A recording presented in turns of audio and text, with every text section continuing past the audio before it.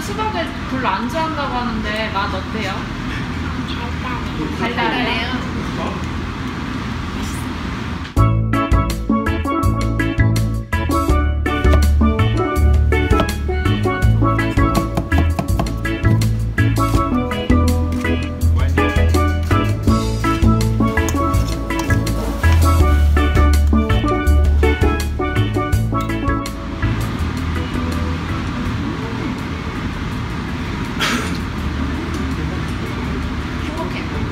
수박이 쓰레기가 되게 많이 생기잖아요.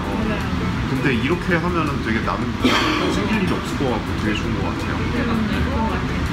양파를 먹으면 이렇게 상큼함이 있고 콜라가 원래 되게 고소하잖아요. 온갖 맛을 잡고 고소함과 달달함과 시원함과 짭짤함. 수박 그냥 먹는 거랑 이렇게 먹는 거랑 뭐가 더 맛있어? 이게 더 맛있어.